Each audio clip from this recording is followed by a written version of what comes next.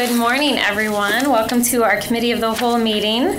Um, So Commissioners, we have 10 items before us uh, on our formal agenda, and then we have two uh, special briefings. So we'll, depending on timing, we may just end up staying in here during that. Then we have Economic Development Project Team, and then after that, we have our second round interviews with city manager candidates this afternoon. So we have a full day. Hopefully, we'll have time to eat in between there at some point. Uh, we shall see. So let's get started. Uh, I'm assuming it's Okay, okay, we'll just, we'll get started. Um, so the first one is a resolution to amend the 2018 public safety meeting schedule. So moved. Support. All right, so uh, Commissioner Jones, you want to tell us about this? You serve on public safety, right? Yes, indeed. We uh, have taken the opportunity to um, take a good hard look at the, uh, the schedule, but also consider the fact that we want to make it as um, easy as possible for our public citizens who are now members of the of public safety to engage. And so we decided to, you know, move the time and, and uh, take the opportunity, hopefully, to, uh, to feed uh, those who participate. Uh, and so It's a novel idea. Yeah, yeah. So you have, so we have before us a, uh, a schedule for um, public safety. Great. And we will do our best, commissioners, to make sure that we are done with this meeting so that people are not waiting. Yeah. Uh, That's a, a goal of ours this year is to stay on time. Uh, So any, commissioners, any other questions or comments about that? Just a comment, I think this is wise because history has proven we are too long-winded and many times it doesn't start till 11:30 anyway. Right. All right, so I will call the question more quickly then, is that what you're saying? Yeah. All right, all those in favor say aye. Aye. Those opposed, it carries. Hello. Good morning.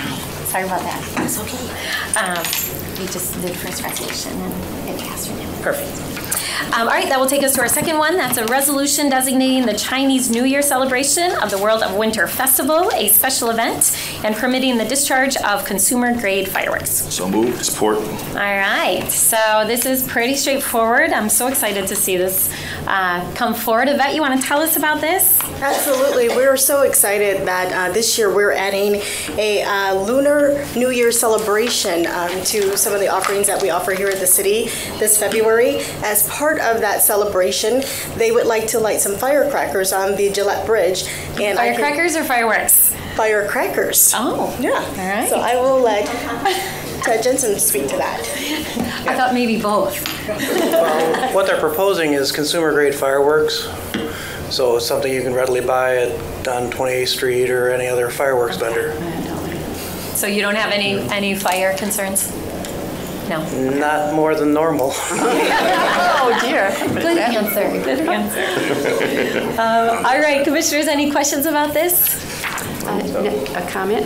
Yeah, go ahead. Um, I just, I want to take every opportunity that's possible to, first of all, thank you, because I know you watch out for us with uh, the safety, thank you. Ted. Um, But also to remind the public that these consumer-grade fireworks have been, um, due to a state law change several years ago, are now allowed in the city as they weren't before. So I, I recently went to an annual meeting at Creston, and the number one issue that everybody put their little dots on was complaints about consumer-grade fireworks. And I just want the public to know that this is not something that the city approved. This is something that the state superseded us on. So Right. every year around the 4th of July, we get lots of complaints about them, and I wish there was something we could do, but we cannot.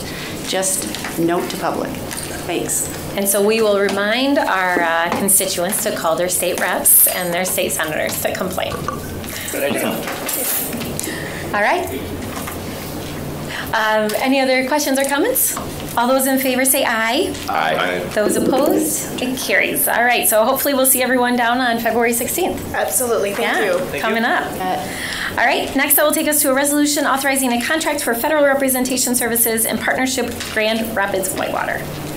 So moved. Support. All right, and Karin is here to talk about, this is uh, something we've talked about in legislative committee before bringing it here, and so we'll let Karin talk about it, and then Eric, and then those of us who serve in legislative, we are welcome to jump in.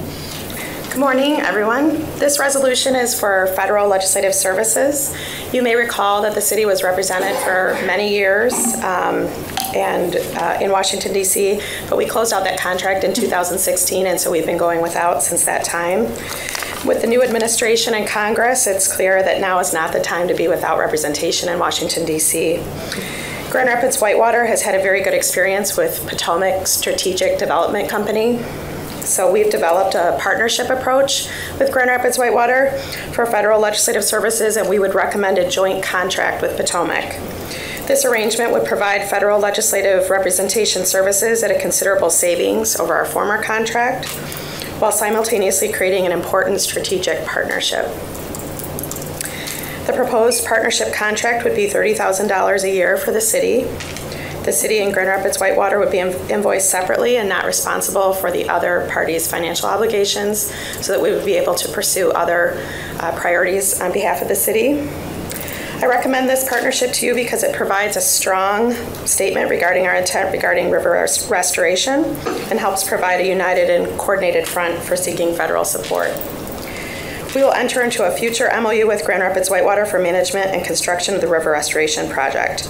This agreement would establish our first formal working relationship with Grand Rapids Whitewater. That's great. Um, Eric, do you want to weigh in on this? Sure, I support this. Uh, we've worked uh, very carefully with Grand Rapids Whitewater to put this together, and um, I think it's a great arrangement, and we're doing it. Um, we're getting, I think, great representation at a much lower cost than we got it before. So I think it's very important to proceed with this. Um, so, commissioners and legislative team, we talked about a couple of things. Um, one, the recent tax bill and the need for us to weigh in on that, especially we had some serious concerns around the historic tax credits and new market tax credits. And then also um, the need to have a voice when we apply for significant grants like COPS grants or some of the HUD grants we've received, including like the HUD grant we received for seeking safety.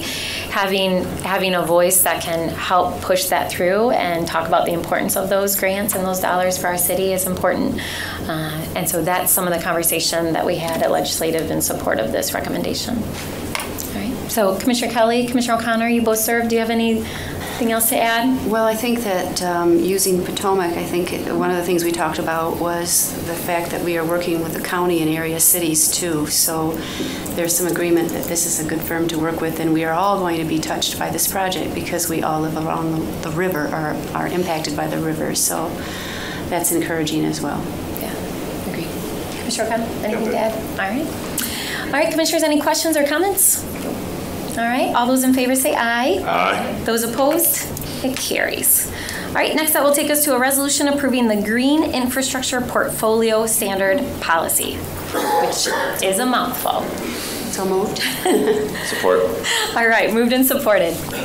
Good morning, Commissioners. I'm Carrie Rivette from Environmental Services, and what we lovingly refer to as the GIPS policy because it's much easier to say.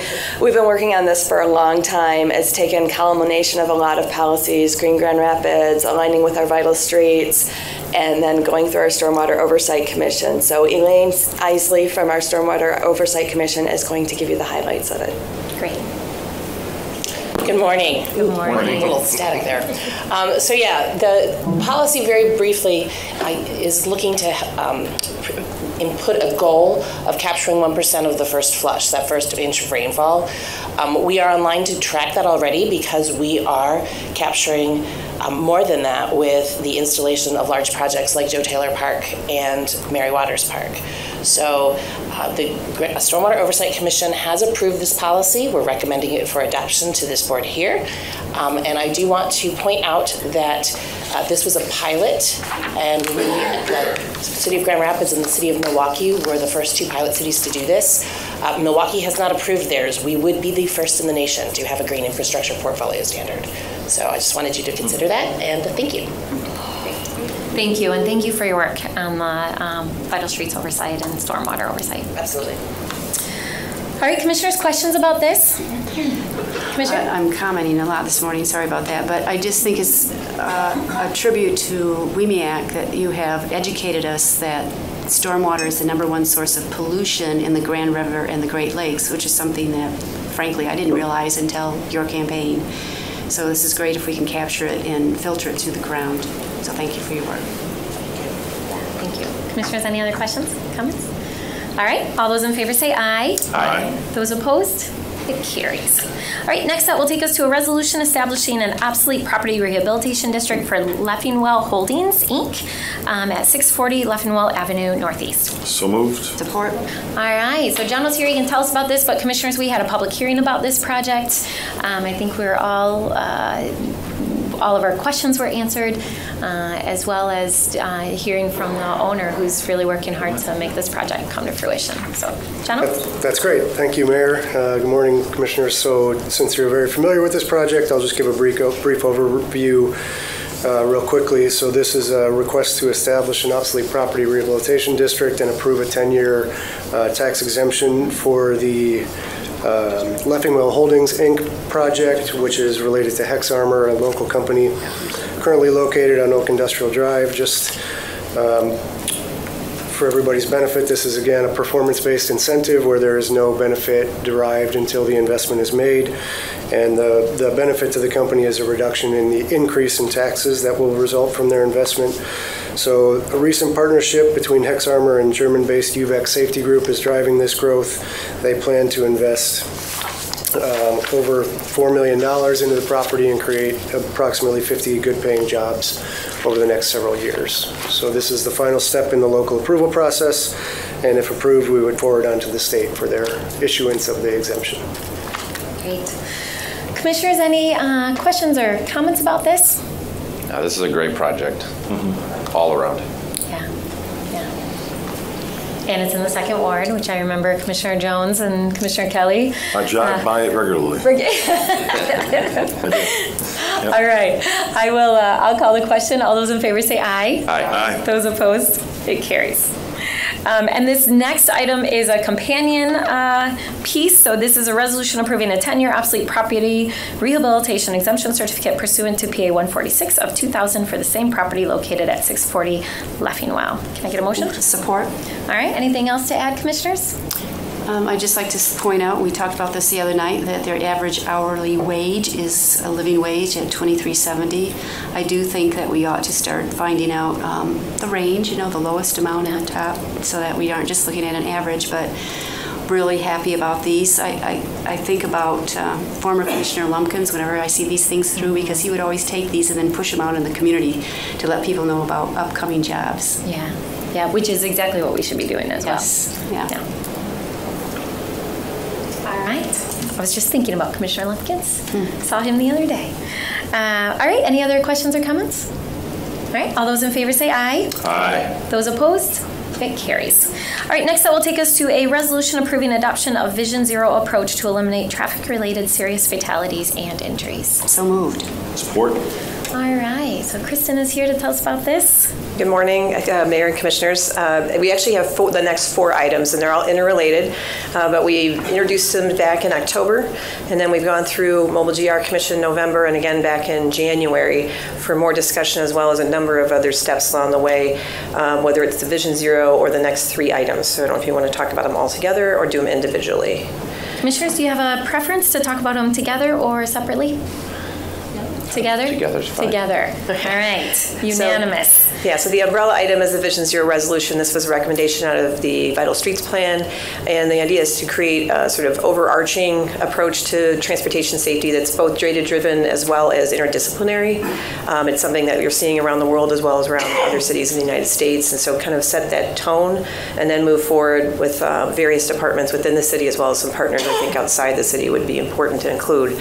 Um, And that sort of takes our next steps forward on trying to improve transportation safety as we definitely are starting to see more challenges locally as well as nationally with crash crash um, histories. So um, that would be the Vision Zero. And then we had some other companion pieces that were responding to some specific complaints, uh, change to Chapter 51 to uh, require um, uh, basically traffic control plans for pedestrians and, and uh, people on bicycles during construction in our public right-of-way so that we can maintain their access during that.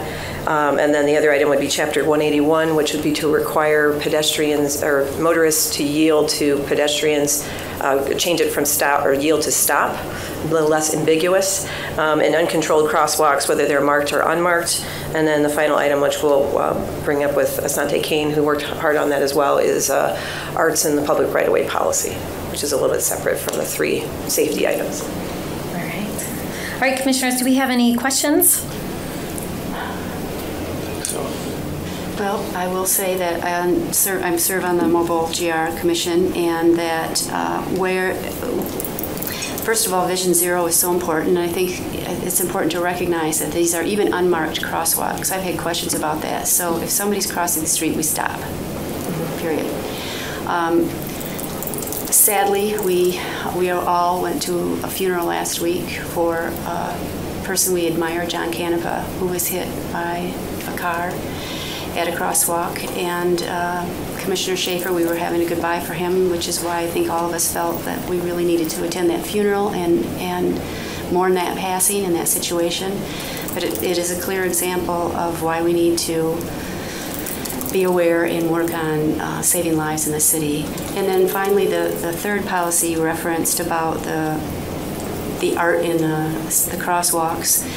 It's not going to get people to where they really want to be because there are some federal standards and there's no proof one way or another whether or not they actually uh, slow traffic or even do the opposite. So we are taking a cautious first step, but it's a first step. So just so that you're aware, you might want to take a look at that policy because I know I got a lot of input from residents in my ward wanting to do this. And if you want to familiarize yourself with what can and can't be done, I think that would be wise, commissioners.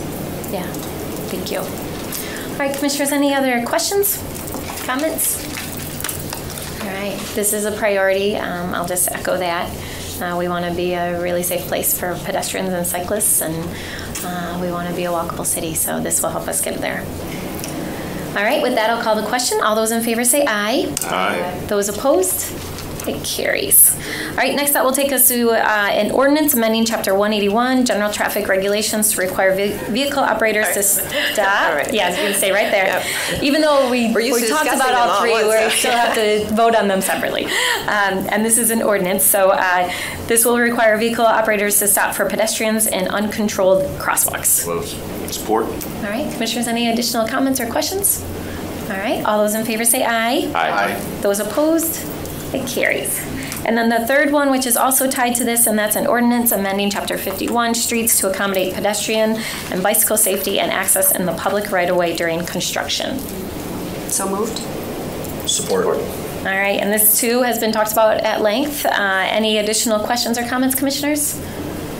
All right, all those in favor say aye. Aye. Those opposed? It carries.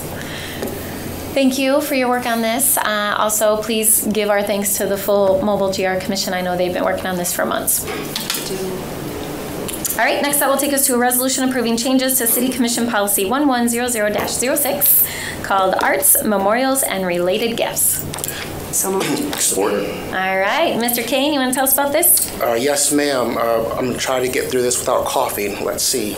Uh, So uh, one of my responsibilities is the uh, staff person that is the liais- liaison to the uh, city manager's uh, Arts Advisory Committee. Uh, The Arts Advisory Committee has looked at the revisions of this policy, and they are in support of it.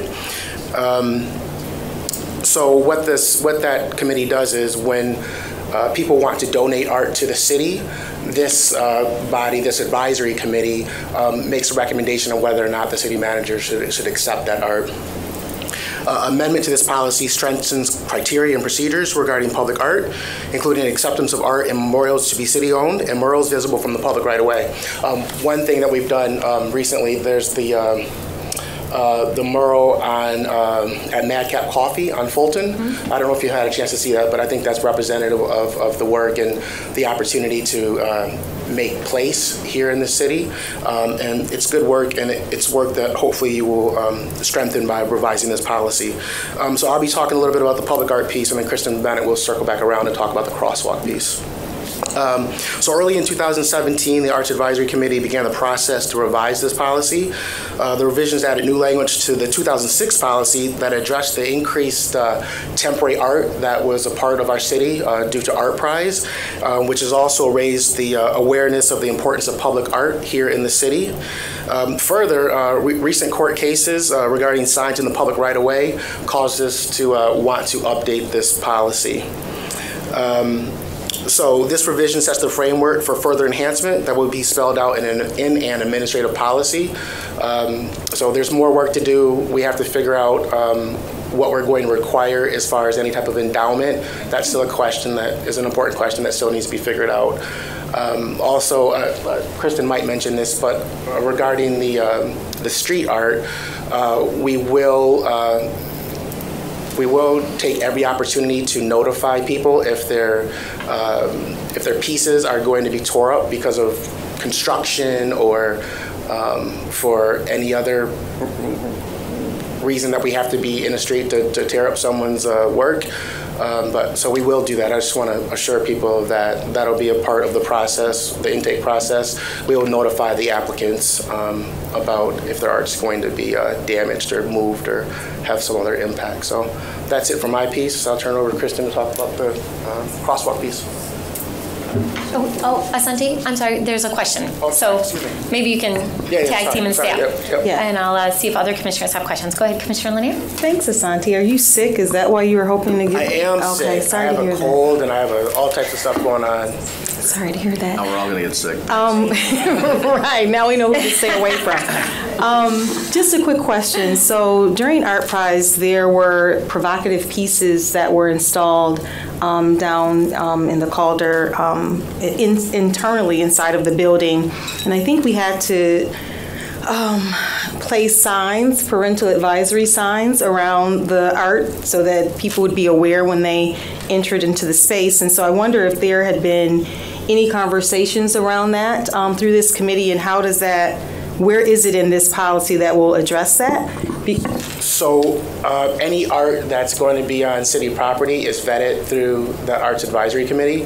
Um, The Arts Advisory Committee did take a look at the art that you're speaking of. It was their idea to put that disclaimer there, Um, but we want to stay far away from any type of censorship. Um, But the, the committee and um, um, the former city manager thought that the signs was, was an opportunity to, uh, to let people know like what they were going to see when they, when they entered into the space. So should the policy speak to provocative pieces and that, because it isn't, at least I didn't find that it was in there where it spoke to what would happen, so that the public would be aware if they have a piece that they should still submit it and that it would go through this process. I think the other piece too is that the feedback that I received during the time when it was installed was that, um, in light of it being Art Prize, that was kind of a unique situation where there was this um, obvious, you know, grand scale of art across the city, but there was also the idea that in public spaces,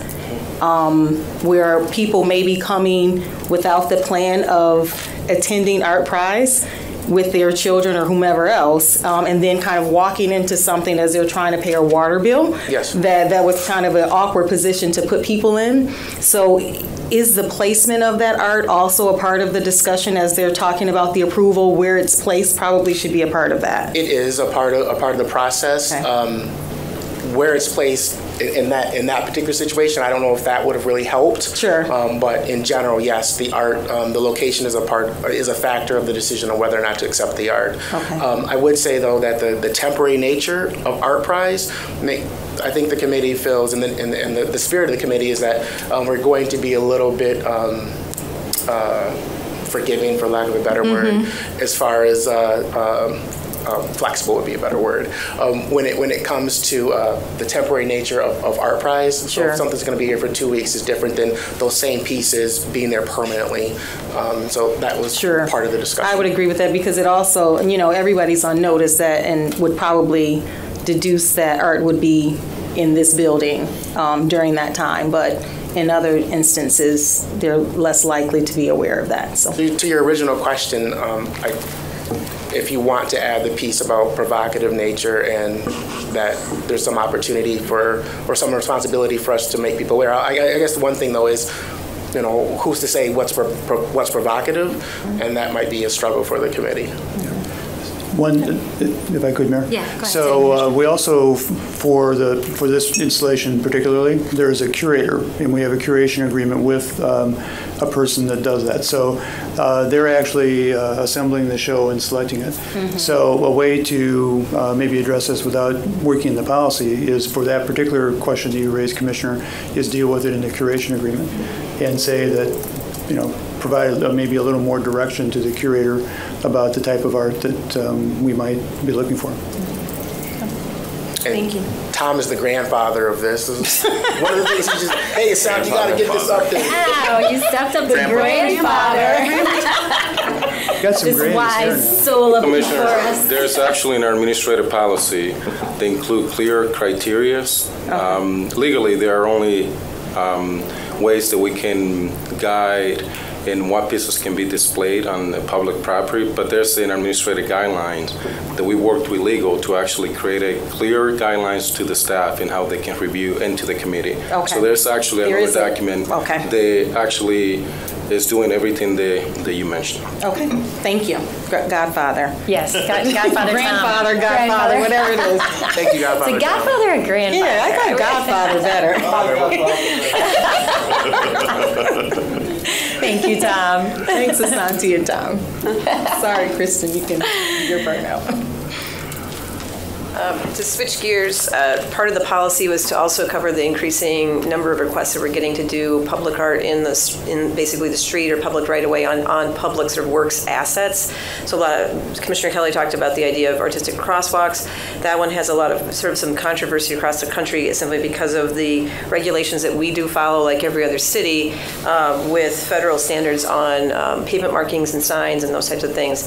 Uh, And uh, likewise, even though there's not been formal rulings from what we call the U.S. Access Board, which over- governs uh, Americans with Disabilities Act, um, technical um, assistance and outputs, they have sort of cautioned cities to be aware that the crosswalk area is a, is an area that needs to be clear to persons with um, disabilities, and that maybe uh, changing that environment may be somewhat confusing to persons with some types of disabilities. So we chose to be a little bit more cautious on the crosswalk opportunities, uh, but at the same time, there's a lot of other locations within the public right-of-way that people can do decorative street painting or use other physical assets like our traffic signal cabinets, which we've seen some already, um, as well as streetlight poles, public uh, walls. Uh, We've even had conversations in mobile GRM parking about using some of our spaces within parking garages and um, near uh, uh, surface parking lots, and other things as opportunities for art.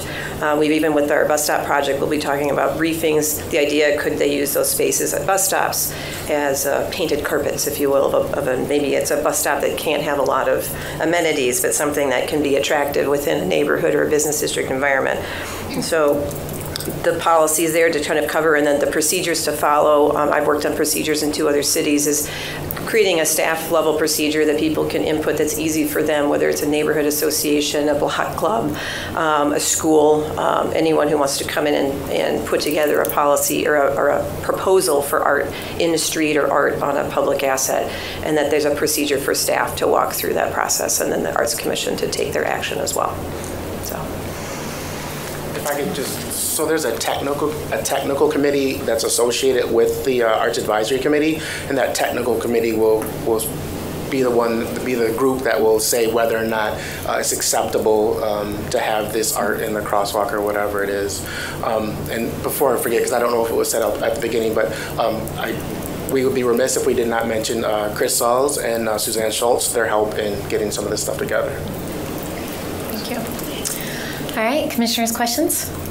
So, I- so I'm curious, and I know all of us have probably seen this in other cities where there's really interesting creative art in crosswalks. And I, I read all the materials and I I recognize there's federal guidelines that can be interpreted very rigidly, but clearly other cities throughout this country, and actually even in the state of Michigan, uh, they're, they're being much more creative with um, art and crosswalks. So I'm, I'm just, I'm curious, the cities that are are more open to, and actually, I think, encouraging of art in, in crosswalks. Uh, How, how do they reconcile this um, push that they have with these federal regulations that we always hear about?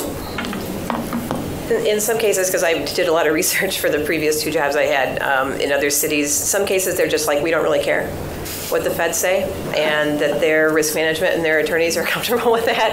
And in other cities, they take a more cautious approach. So uh, when I worked in Milwaukee prior to coming back to Grand Rapids, we chose to be somewhat more cautious. We had a few rogue installations in crosswalks, which had some positive feelings, and then in one instance, we had someone hit in one of those crosswalks and was very upset um, that it wasn't normal and they had a lot of complaints and there was concern about risk related to that.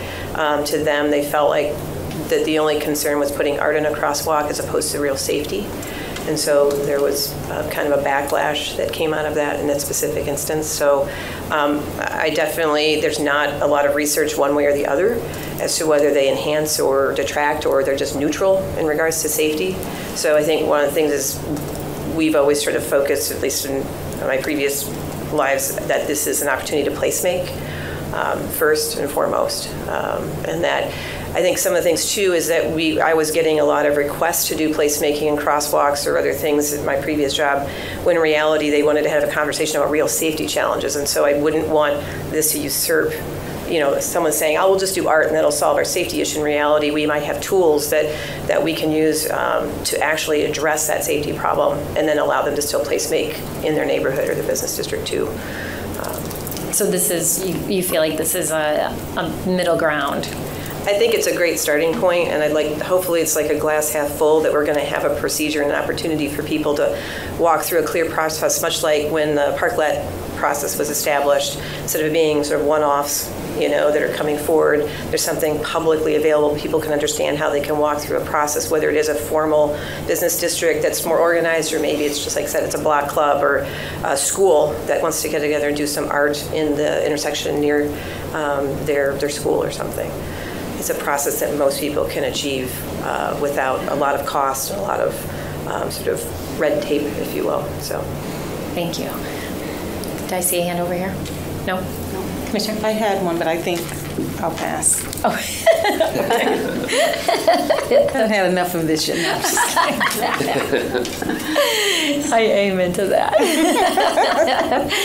All right. Anything else, commissioners? So, so thank you for your work on this. Uh, I really appreciate it. I feel like we've been talking about this for a very long time. And uh, I remember when I uh, was a commissioner, this was a topic that was brought up uh, multiple times. Maybe not as much as fireworks, but it was brought up a lot.